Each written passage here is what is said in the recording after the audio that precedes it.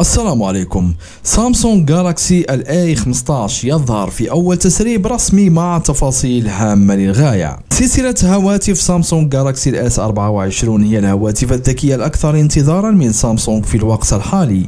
ولكن نعلم جميعا أن الشركة لا تضع جميعا بيضها في سلة واحدة فقط. سامسونج هي أيضا مطور للهواتف من الفئة المتوسطة والاقتصادية بجدارة.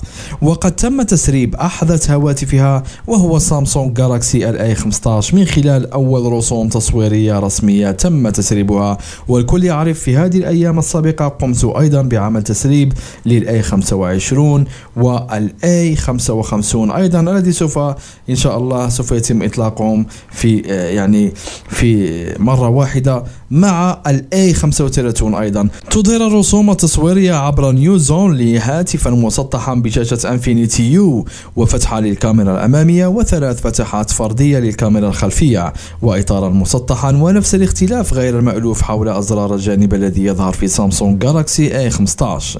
تقدم هذه الرسوم التصويرية الرسمية الأولى أيضا لمحة عن خيار لون أزرق داكن لهاتف الجالاكسي A15 بتكلفة منخفضة ومع ذلك سيكون هناك ألوان إضافية جميلة لم يتم رؤيتها في الرسوم التصويرية وهي الأسود والأصفر.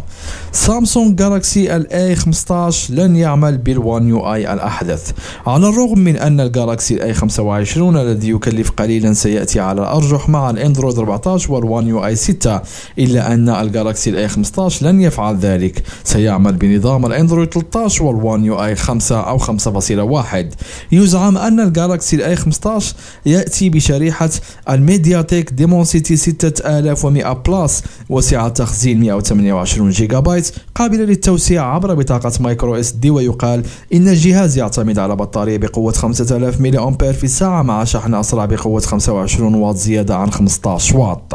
وفيما يتعلق بشاشة ال Infinity U فإنها تأتي بقياس قطري 6.5 إنش ودقة Full HD Plus ومعدل تحديث أقصى يبلغ 90 هرتز.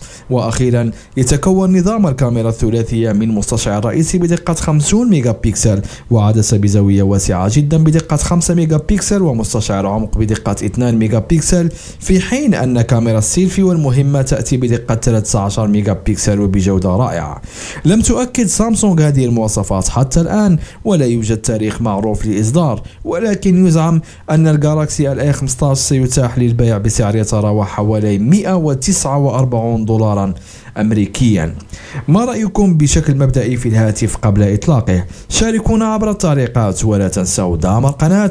دمتم سالمين. مع السلامة.